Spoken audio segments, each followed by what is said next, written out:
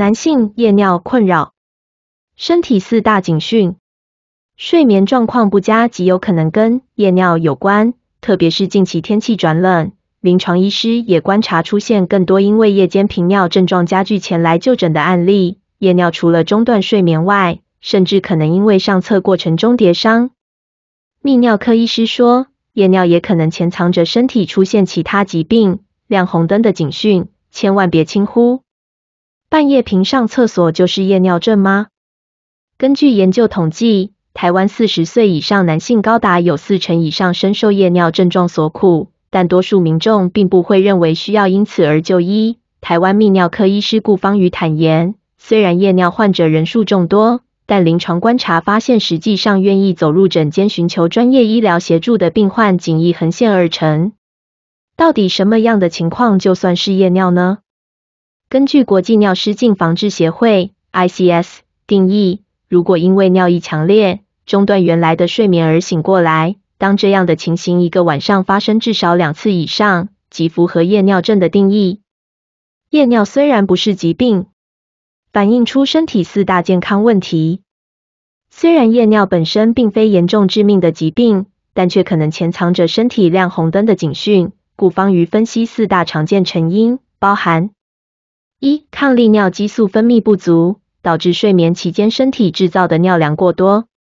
二、射护腺肥大，进而挤压膀胱，导致储尿能力低下；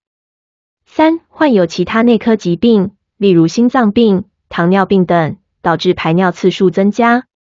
四、睡眠呼吸中止症患者，因为血液浓度降低，导致心脏缺氧。为降低心脏压力，促使肾脏排出尿液，进而减少血液容积。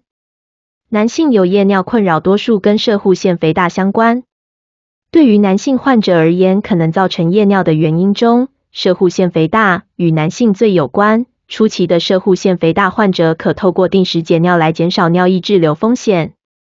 顾方瑜说，台湾患有射护腺肥大的人数近一百四十万人。射护腺肥大不仅会产生夜尿的症状。若长期置之不理，可能导致血尿、尿道堵塞等情况，严重者甚至可能因为尿液逆流引发肾水肿，还是必须要对症下药，找出病因，才能改善夜尿的问题。生活六大法则，预防夜尿发生。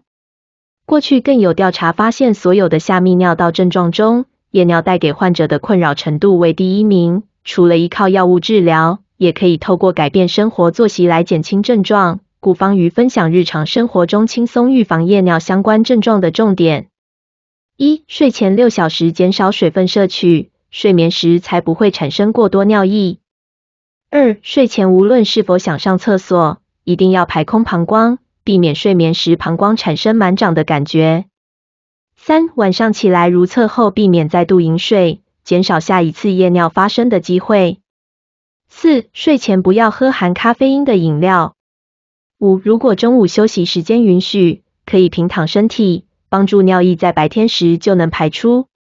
六，夜尿影响的程度因人而异，但因为患者通常病视感较低，往往延误治疗时间，选择忽视疾病问题，长久下来会严重影响生活品质，甚至产生其他后续的并发症。当夜尿频率提高且影响日常生活时，不妨寻求专业医师的帮助。